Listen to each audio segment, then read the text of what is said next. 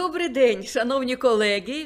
Добрий день і дозвольте продовжити нашу програму.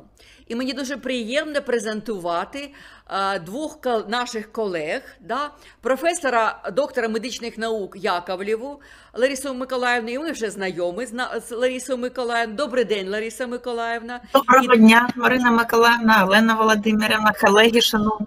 Да. І Песоцьку Є- Олену Володимирівну також. Шановні колеги, представте себе. За нашою традицією ми завжди ну, самі себе представляємо. Да? Лариса Миколаївна, де ви працюєте і що, що робите у житті? Я працюю на кафедрі кардіології функціональної діагностики е, ХМАПО, це Харків. Як ви сказали попереднього разу, це наш ну, щодо вас сестринська кафедра, так. Е, Коло моїх інтересів е, це, по-перше, лікування пацієнтів на артеріальну гіпертензію, е, ну, різноманітні серцево-судинні захворювання, саме хронічний коронарний синдром. Але ми сьогодні з Оленою Володимировною підготували клінічний случай ну, щодо лікування пацієнта на АГ. Але я розумію, що це не тільки на артеріальну гіпертензію, а наслідки артеріальної гіпертензії. Це буде така дискусія кардіолога і невропатолога. Я, Олена Володимирівна, будь ласка, представте себе. Так, добрий день, е, шановні Марина Миколаївна, Лариса Миколаївна, всі учасники нашого вебінару. Щиро вас вітаю. І що хочу про себе сказати. Зараз я працюю головним лікарем Державної установи Інститут неврології, психіатрії та наркології Національної академії медичних наук України. Але ще зовсім недавно е, я працювала і в мене великий досвід роботи з пацієнтами е, е, які переносять ішемічні інсульти, не тільки мозкові інсульти. Більш е, 20 років я працювала в відділенні інсультному і також була протягом 15 років була консультантом кардіологічного відділення. Тобто е, ця праця на е, така на стикі спеціальностей, вона е, дуже збагатила мене і ті питання, що сьогодні ми будемо обговорювати, вони дуже близькі мені як лікарю, перш за все. Ну і тому я е, дуже чекаю, що ми розпочнемо наше, е, наші доповіді. Добре, тоді починаємо. Лариса Миколаївна, вам слово. Просимо. Так, дякую. Можливості церебропротекції ан- антигіпертензивної терапії, експертний погляд кардіолога та невролога. Дякую, Марина Миколаївна. Я розпочну з такого е, клінічного прикладу. Е, Це пацієнт, е, ну, доволі таки молодий пацієнт, йому 66 років. Він страждає, саме страждає на артеріальну гіпертензію, бо вже переніс інсульт. Він регулярно приймає інгібітори ангіотензин перетворюючого ферменту, але цифри артеріального тиску не є цільовими. Вони 166 і навіть 160 є такі коливання на 90 мм ртутного стовпчику. Він має також е, дв- е, два роки виявлений цукровий діабет.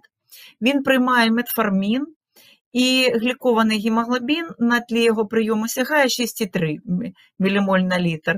Він також має помірне зниження швидкості клубочкової фільтрації. Ми його розрахували за формулою СКД-ЕПІ, і воно відповідає третій стадії хронічної ниркової недостатності.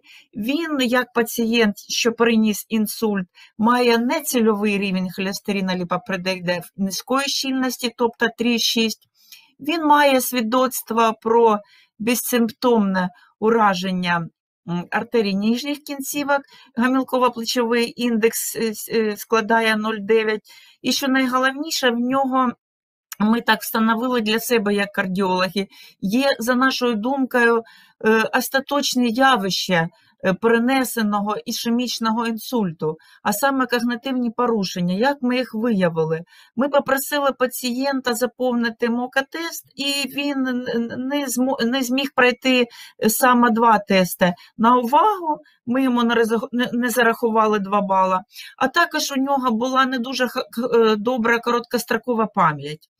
І що ще цікавого, то що цей пацієнт переніс ендортеректомію, як пацієнт, що переніс ішемічний інсульт, були е, е, діагностована наявність е, е, атеросклерозу сонної артерії контрлатеральна по відношенню до інсульта, і було прийнято таке рішення провести ендортеректомію. Ну, безсумнівно, що наш пацієнт, оскільки переніс серцево-судинну подію, це пацієнт дуже високого ризику.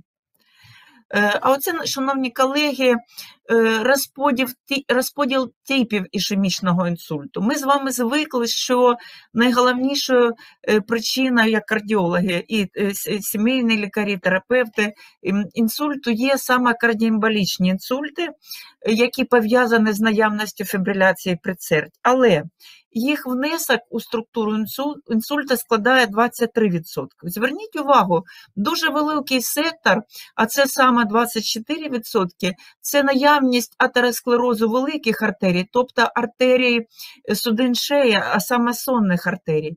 Але 23% це оклюзія дрібних артерій. І дивіться, шановні колеги, є дуже велика кількість пацієнтів, у яких причина інсульту є невстановленою. Е, А от щодо факторів ризику інсульту, то зверніть увагу нашого пацієнта наявність щонайменше 4 фактору ризику, тобто е, е, цієї події. Тобто наш пацієнт належить до групи ризику повторного інсульту.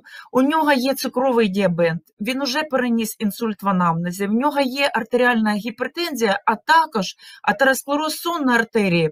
І навіть якщо пацієнт був уже оперований з цього приводу, все, равно, е, все рівно цей фактор ризику залишається. Яка ж мета лікування? Е, Антигіпертензивна терапія е, нашого пацієнта. Ну, дивіться, оскільки він переніс інсульт, то мета терапії е, не просто зниження артеріального тиску нижче за 140, а бажано досягнути цифри артеріального тиску 130, але не нижче, ніж 120. Чому так? Тому що при більш низькому досягненні рівня систолічного артеріального тиску ми можемо погіршити церебральну перфузію. Е, От що нам відомо щодо розвитку, е, щодо контролю артеріального тиску і розвитку ішемічного інсульту.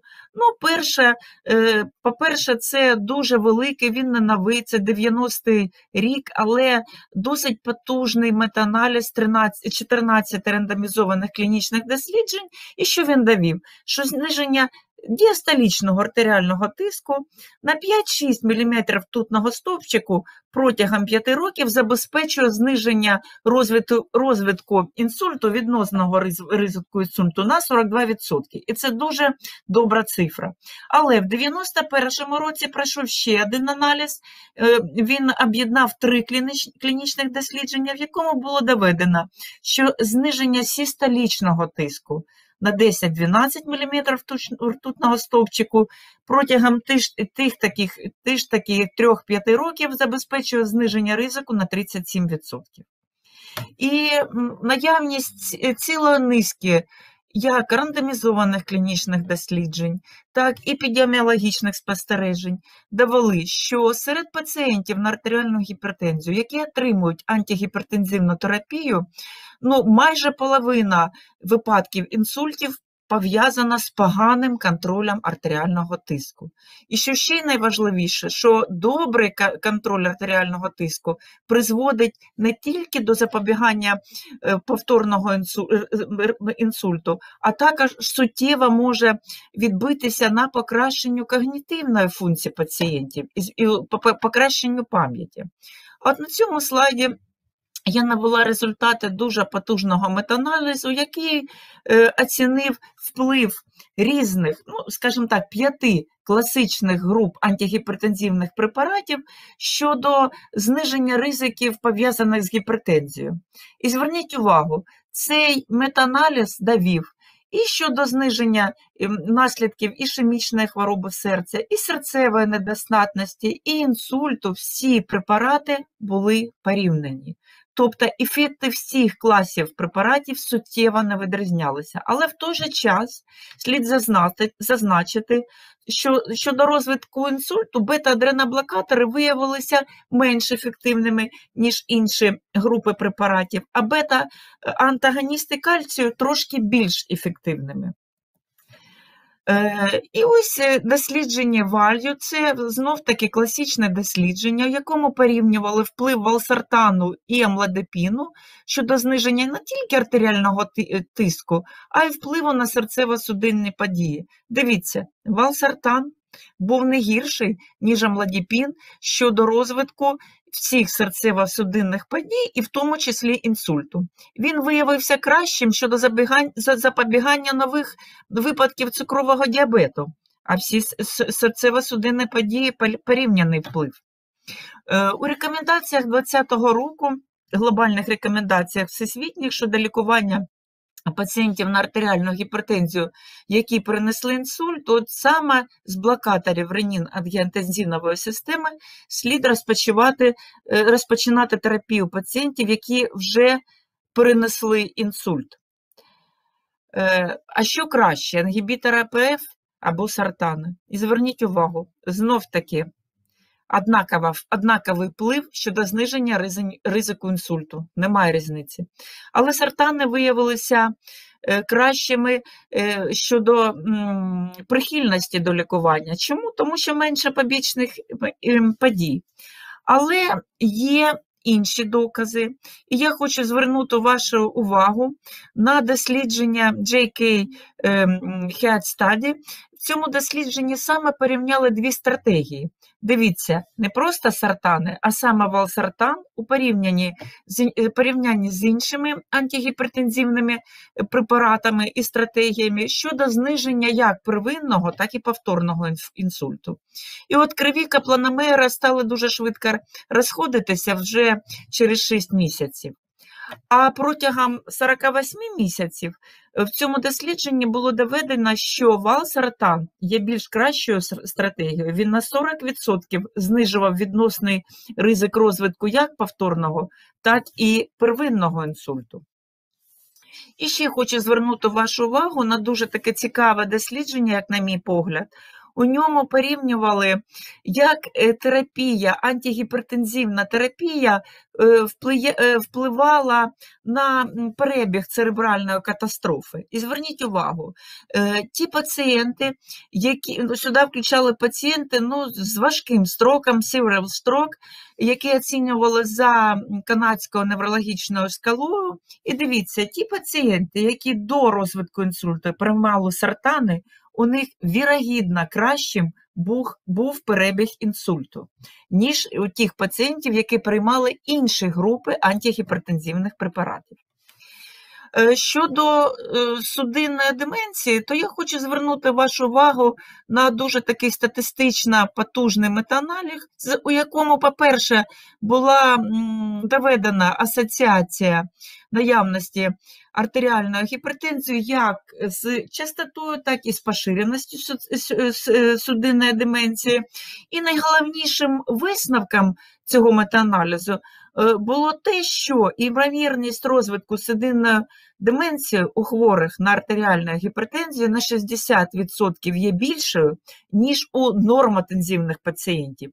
І от серед пацієнтів на артеріальну гіпертензію деменція, в тому, ну, по-перше, судинна деменція зустрічається в 5 разів частіше, ніж у нормотензивних пацієнтів. Е, І це ще один дуже великий метааналіз. Він е, е, був складений з двох частин. Я звертаю вашу увагу на другу частину. До другої частини метааналізу, е, це метааналіз 13-го року, дійшло ну, 17 рандомізованих клінічних досліджень, у яких порівняли ефекти п'яти знов-таки дуже добре нам відомих клас, основних класів антигіпертензивної терапії щодо зниження ризику деменції, а- і, і більш того, на поліпшення когнітивних функцій. Що він показав? Що тільки сартани у порівнянні з плацебо покращують когнітивну функцію. А коли порівняли вплив е, між собою всі групи антигіпертензивних препаратів, то сартани щодо впливу на когнітивну функцію виявилися кращими, ніж діуретики, бета-блокатори і інгібітори АПФ. А от з антагоністами кальція, бачите, була подібна тенденція. Сартани були дещо кращими, але статистично значущості цей показник не досяг. Але коли порівняли ефекти щодо впливу на когнітивну функцію всіх інших антагоністів кла- клас, е, к- ан- ант- ем, антигіпертензивних препаратів між собою, в тому числі і антагоністів кальція, то тут відмінностей не було. Чому е, сартани можуть покращувати когнитивну функцію? Тому що, коли ми призначаємо е, сартани, то зберігається вплив ангіотензіна 2 на, на АТ2 рецептори, і цей вплив є позитивним і бажаним. Саме завдяки цьому впливу забезпечується і вижив- збільшення виживання нейронів після інсульту, і збільшення зростання нейронних відростків, і зниження запального процесу у е, тканинах мозку. І ще ангіотензин, е, ангіотензин е, 2 завдяки стимуляції мас рецепторів структури головного мозку, він е, е, е, збільшує е, церебральний кровоплин і е, покращує ендотеліальну функцію. Е, Хочу звернути вашу увагу на ну, е, досить потужне статистичне дослідження. Це 7,3 мільйонів осіб. Спостерігали за ними 5 років. Це дуже відоме е, американське ветеранське дослідження. І в ньому опрацьовано три стратегії. Перша стратегія це ризик розвитку хвороби Альцгеймера або судинної деменції у пацієнтів, які приймали сартани. Серед сартанів були валсартан, лосартан, ібісартан і кандесартан. Лізінаприлу, тільки його, і третя група е, е, сп- спостереження це інші препарати. Що воно довело? Причому дуже е, відслідковували розвит- розвиток хвороби Альцгеймера і судинної, е, судинної деменції за жорсткими точками. А саме, це смерть пацієнтів, це госпіталізація до хоспісу з приводу деменції. І зверніть увагу, найкращою стратегією щодо зниження кінцевої точки була сама терапія, коли, м, включал, е, коли пацієнти приймали сартани. А оце друга частина ветеранського дослідження. Тут опрацювали такий підхід. Ті пацієнти, які приймали інгібітор АПФ, їх, їх перевели саме в основному на валсартан. Інші сартани не використовували. А ті пацієнти, які приймали е, сартани, перевели на інгібітор АПФ. Що отримали? Дивіться, якщо пацієнтів переводили на валсартан, на 72% знижувався ризик деменції. Е, Якщо використовувалася інша стратегія, тобто якщо пацієнтів переводили на гібітори АПФ, то е, був добуток е, 17% е, цього ускладнення. Ну, я хочу сказати, що ми звернули увагу на валсартан саме тому, не тільки що у нашого пацієнта є когнітивні порушення перенесений інсульт, а тому що він потребує і нефропротекції. Я хочу сказати, що е, валсартан це один з найбільш ефективних і досліджених сартанів.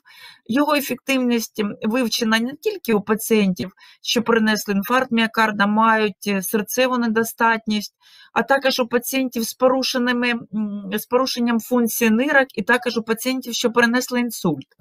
Тому ми призначили нашому пацієнту таку терапію. Це Діфорс, комбінація валсартана з амлодипіна. Ну так, можна було б призначити і діокор, комбінацію валсартана з гідрохлортиазидом. Однак ми вибрали першу комбінацію, чому? тому що у амлодипіна також є вплив на зниження розвитку повторного інсульту. Оскільки наш пацієнт переніс серцево-судинну подію, він е, потребує прийому антитромботстарної монотерапії. Ми призначили кардіомагніл у дозі 75 мг, а також ми призначили клівас, це розовостатін у дозі 20 мг. І ми е, відправили пацієнта на консультацію до невролога. І дуже кор- коротко, чому ми серед цих е, ем, валсартанів обрали саме Діакор і Діфорс? Ну, тому що у цих препаратів є сертифікат якості європейського рівню. Е, Ще тому, що це е, є у нас дуже велика довіра до цього бренду, і не тільки у нас. Дивіться, е, протягом трьох років він є переможцем у номінації Панацея року. І ще найважливіше, що компанія Аціна вона створила таку соціальну програму з турботою для пацієнтів. Ко- Кожна третя е, таблетка і діакору, і діфорсу пацієнта може бути отримана згідно до цієї е, програми безкоштовно. Я дякую вас е, за увагу, вам за увагу і передаю слово задоволення Малені Володимировні. Шановні колеги, я продовжу тему когнітивних порушень у пацієнтів з артеріальною гіпертензією і е, хочу повернутися до нашого клінічного випадку. Будь ласка, наступний слайд. Е, Це пацієнт, якого вже представила Лариса Миколаївна. Е, Пацієнт, який звернувся зі скаргами на головний біль, запаморочення, хиткість ходи, слабкість у лівих кінцівках, зниження пам'яті, уваги, порушення сну. Ми знаємо вже, що цей пацієнт страждає на артеріальну гіпертензію. Знаємо, що він е, переніс ішемічний інсульт кілька місяців тому. Знаємо, що у нього є дисліпідемія, є стенозуючий атеросклероз сонної артерії, і з приводу цього йому було проведено каротидну ендартеректомію. При об'єктивному обстеженні у нашого пацієнта ми виявили симптоми, які підтверджують перенесений інсульт. Це лівобічний помірний геміпарез, лівобічна гемігіпестезія, патологічні знаки. А також ми виявили симптоми, які свідчать про наявність у пацієнта хронічної форми цереброваскулярного захворювання. Що це за симптоми? Це симптоми орального автоматизму, недостатність акту конвергенції, це дискоординація при виконанні координаторних проб, похитування в позі Ромберга, а також зниження емоційного фону і зниження когнітивних функцій. А саме ми отримали 23 бали за шкалою Minimental State Examination, що свідчить про важкий ступень когнітивного зниження. Пацієнту було проведено магнітно-резонансна томографія, далі, будь ласка, яка дозволила виявити ознаки перенесеного ішемічного інсульту в басейні правої середньої мозкової артерії, а також виявила осередки зниженої щільності від 4 до 15 мм перивентрикулярно та ознаки лейкоареозу, тобто дифузної е, зниження щільності білої речовини головного мозку. Даному пацієнту був виставлений діагноз відновний період ішемічного інсульту в басейні правої середньої мозкової артерії з помірним лівобічним геміпарезом. Дисциркуляторна атеросклеротична, гіпертонічна енцефалопатія 3 з вестибулоатактичним, астенічним синдромами та когнітивним зниженням. Далі, будь ласка, Е, я хочу звернути вашу увагу на те, що е, багатьма е, широкомасштабними багатоцентровими клінічними дослідженнями було доведено, що е, наступний слайд, будь ласка, було доведено, що артеріальна гіпертензія це достовірний, сильний та незалежний фактор розвитку та прогресування е, не тільки мозкового інсульту і хронічних форм цереброваскулярних порушень, а й когнітивних розладів, і в тому числі і судинної деменції. Будь ласка, далі. Е, Відомо, що артеріальна гіпертензія вражає судини головного мозку як великого, так і малого калібру. Ураження великих церебральних артерій при артеріальній гіпертензії призводить до локальної оклюзії, локального ремоделювання і збільшення жорсткості судинної стінки. І у таких пацієнтів зазвичай при ураженні великих артерій е, розвивається мозковий інсульт. При ураженні артерій малого калібру, інтрацеребральних артерій діаметром від 70 до 500 мікрометрів, як правило, розвивається мікроангіопатія з явищами ліпогіалінозу, гіпоперфузії і порушенням зв'язків між лобовими відділами головного мозку і підкірковими структурами. Саме враження, е, саме враження цих малих артерій малого калібру, які майже під прямим кутом відходять від артерій середнього та крупного калібру, і які не мають колатералій, вони кровопостачають глибинні е, відділи речовини головного мозку, білої речовини, і ураження саме цих артерій призводить до розвитку так званої гіпертонічної енцефалопатії. Існують декілька механізмів розвитку когнітивних порушень у пацієнтів з артеріальною гіпертензією. Е, Ці механізми зараз перед вами на слайді. Це перш за все поодинокі інфаркти в так званих стратегічних зонах, до яких ми відносимо префронтальну лобову кору, гіпокамп, смугасте тіло. Це німі інфаркти глибинних відділів білої речовини головного мозку та базальних гангліїв, які зазвичай протікають безсимптомно і які ми виявляємо за допомогою методів нейровізуалізації. А також хронічна недостатність мозкового кровообігу, яка призводить до розвитку дифузного ураження білої речовини лейкоареозу. У нашого пацієнта ми зіткнулися з тим, що ми маємо всі три е, механізми формування е, когнітивних е, порушень. Е, Тобто, ну, пригадайте, ми виявили і німі інфаркти перевентрикулярно, і виявили лейкоареоз, і також є вказівки на те, що наш пацієнт таки переніс ішемічний інсульт в басейні правої середньої мозкової артерії. Когнітивний дефіцит у таких пацієнтів проявляється сповільненістю психічної діяльності, ослабленням уваги, зниженням мовної активності, порушенням пам'яті, афективними та особистісними змінами, такими як депресія, апатія, абулія, тривога, дратівливість, емоціональна лабільність та розгальмованість. І підсумком прогресування нейропсихологічних порушень при артеріальній гіпертензії є саме розвиток судинної деменції. Хочу е, сказати, що когнітивні порушення е, розділяються за ступенем важкості на легкі, помірні і виражені. Для легких характерне незначне зниження оперативної пам'яті, зниження концентрації уваги, розумової працездатності, зниження запам'ятовування нового матеріалу. Для помірних характерно те, що на цій стадії зниження когнітивних функцій помітно не тільки самому пацієнту, а й його найближчому оточенню та підтверджується нейропсихологічними тестами. І виражені когнітивні порушення характеризуються грубими порушенням вже кількох когнітивних функцій, затрудненням спілкування. У таких пацієнтів ми виявляємо зміни особистості. Формується професійна та соціальна дезадаптація, поступово розвивається деменція і залежність від оточуючих. Е, Хочу зазначити, що когнітивні розлади це прогресуючий стан, який, на жаль, з часом трансформується в деменцію.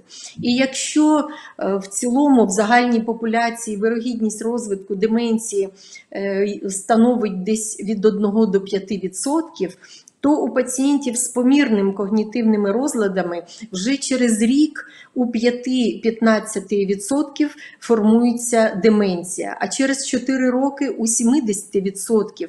Через 5 років всі 100% осіб з когнітивними порушеннями вже мають виражений ступінь когнітивних розладів. Е, Тому сьогодні велика увага приділяється діагностиці когнітивних порушень і саме діагностиці на якомога ранніх стадіях. Це стадія легких і помірних когнітивних розладів. Чому саме так? Тому що на цьому етапі ми можемо ще якось стримати прогресування когнітивних розладів і можемо запобігти розвитку судинної деменції. Для того, щоб діагностувати когнітивні порушення, перш за все, необхідно застосовувати нейропсихологічне тестування, яке сьогодні е, включає багато опитувальників, шкал, тестів. Це і Монреальська шкала, і МОКА-тест, шкала Minimental State Examination, тест малювання годинників та інші. Обов'язковим є дослідження емоційного статусу, а саме виявлення депресії або тривоги. Чому? Тому що ми знаємо, що е, часто буває так, що саме за депресією і тривогою маскуються вже перші ознаки когнітивних порушень. І пацієнтам необхідно проводити нейровізуалізаційне дослідження з метою е, отримання інформації щодо ступеня ураження речовини головного мозку. Далі, будь ласка. Е, Які ж основні, будь ласка, наступний слайд для наших учасників. Е, Які ж основні підходи до терапії таких пацієнтів? Ну, перш за все, терапія повинна бути е, мультимодальною і необхідно звертати увагу на корекцію факторів ризику і лікування основного захворювання, яке призвело до е, таких ускладнень е, з боку нервової системи.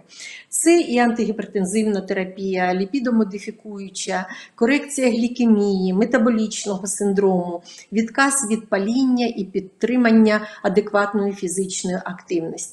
Що стосується антигіпертензивної терапії, то нашому пацієнту було призначено препарат Діфорс, і про переваги цієї, цього класу препаратів вже дуже детально розповіла Лариса Миколаївна.